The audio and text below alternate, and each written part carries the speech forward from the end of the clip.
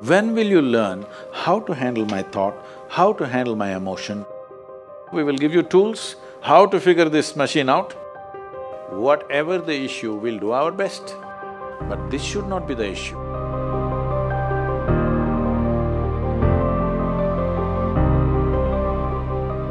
In life, there are many phrases where we feel that we are depressed, we are lonely, and when everybody is against us, and there is no one to, you know, guide us or talk about it. So, at that moment, how should we handle it or how should we deal with it? See, uh, this is an unfortunate condition that a whole lot of human beings are in, in their experience. In their personal experience, life is like me versus the universe. Being in competition with the universe is a stupid thing to do. That's not a competition you must get into. Hello? Me versus the universe is a bad competition to get into. Would you, you also agree with? So, this is why yoga. Yoga does not mean twisting and turning your body. The word yoga means union. Right now it's me versus the universe. This is just your psychological condition. This is not the reality. Even when you feel utterly lonely, are you still breathing? So you're transacting with the world, isn't it? Yes? You only can't get along with the people around you, but atmosphere is okay with you, food is okay if it tastes good, water is okay. You have transaction with the world, isn't it? Your existence is constantly an engagement with the universe, but your mind becomes against the universe. If you create a psychological condition that you're against or you're in competition with the universe or the cosmos, obviously you will feel crushed for small things. Little things will crush you. When I say little things, maybe you failed your examination, maybe you got thrown out of this university, maybe you got fired from a job, maybe somebody ditched you, maybe something else like this happened. These are all small things between life and death. Because you came here with nothing, isn't it?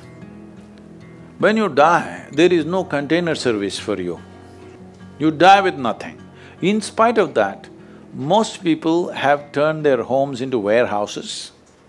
Most people are carrying such a huge baggage on their head as if they're carrying the whole universe on their head. This is their own psychological condition. Your thought and emotion is what you're talking about, right? When are you going to figure out how to handle your thought and emotion? Not hers, not hers, not his, yours. When are you going to learn how to handle my thought and my emotion? At the end of your life? The only problem really with life is just this. Most human beings have taken themselves too seriously. They don't understand You've seen on the computer screen these pop-ups? Yes. You are a pop-up on this planet. you pop up for two seconds and pop out. No, no, you must see, countless number of people like you and me have walked this planet. They were also big people. Where are they? All topsoil? Topsoil or no? Unless they… somebody, your friends decide to bury you real deep, fearing that you may rise from the dead. You know, there have been such instances. Or maybe you're planning to go to heaven. Hello? Anybody who talks about a place other than this place, as a better place than this, this is a crime against humanity. My fundamental work is to destroy all heavens so that people will learn to live well here. All these idiots who made a hell out of themselves, they want to go to heaven. They made a mess out of this place and then they want to go to heaven. I am asking you, do you have any proof? Do you have any proof that you are not already in heaven and messing it up? Do you have any proof? You're already in heaven, making a mess out of it. Yes, simply because you are not even learning how to handle your basic faculties of thought and emotion, isn't it? Your only justification is, everybody is like this only, that's how it is in a madhouse. That is how it is in a madhouse, only a doctor looks crazy. So when are you going to handle it? Slowly, at the age of sixty? I'm asking. When will you learn how to handle my thought, how to handle my emotion, how to handle my body, how to handle my chemistry? When are you going to figure this? At the end of your life?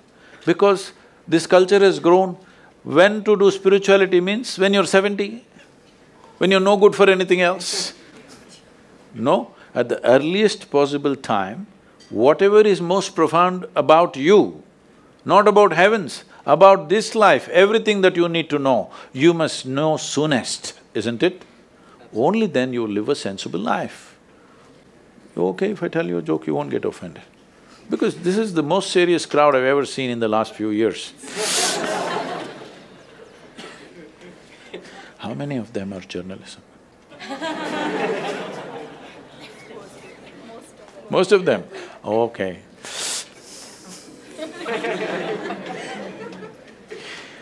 This happened.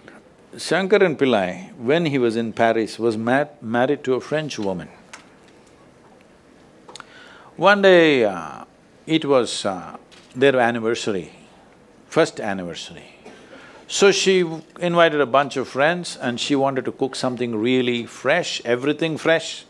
So from morning, she was driving him to this market, that market, he got this fresh vegetables, fresh meat, fresh chicken, this, that, everything.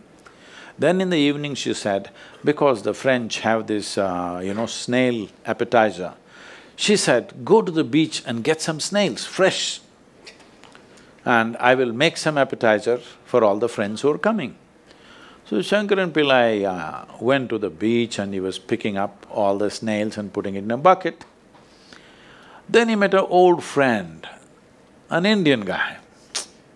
They hit it off and they were talking about their old times. He just forgot that he's married. you know, when you meet old friends, it happens. and uh, both of them went to a bar and they had a few drinks and he just forgot. Then he realized, then the snails were just climbing out and top one snail fell out of the bucket. He realized, oh my god, I'm supposed to take these snails, my wife, French wife, she's waiting. So he said, I need to go and he went. By then it was already very late. He went, he knew it's not going to be pleasant. So he came near the house and spilled all the snails on the ground, threw away the bucket and uh, went and knocked on the door. The French fury came. he turned back and said, come on you guys, we're almost there, come on, let's go.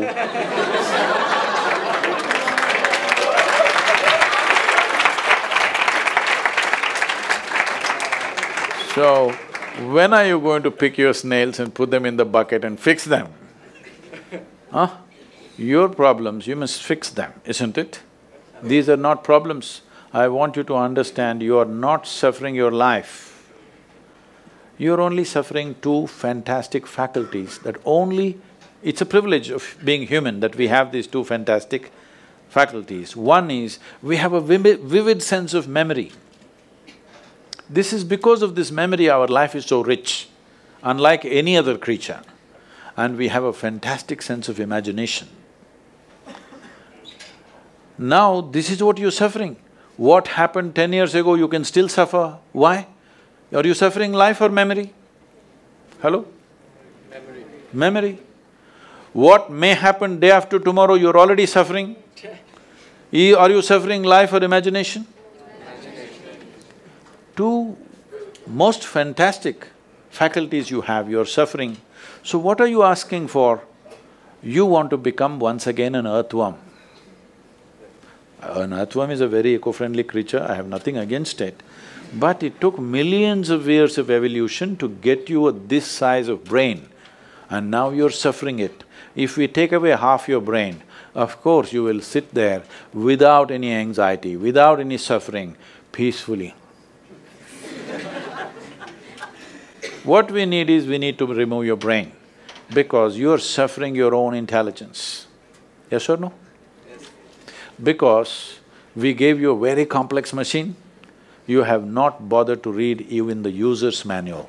You want to just blunder around. No, young people, it's time you figure out a few things about you. If you don't know how, we will give you tools how to figure this machine out because in your life, many issues will come. More issues come up in your life means you're living a more active life. Nothing came up means you're not living. Yes? Lots of issues every day. I have the maximum number of trouble going on in my life on a daily basis because so much of activity around the world, global level of activity only with volunteers, okay? Volunteers means nobody is qualified for the job and you can't fire them for inefficiency and they love you, what to do?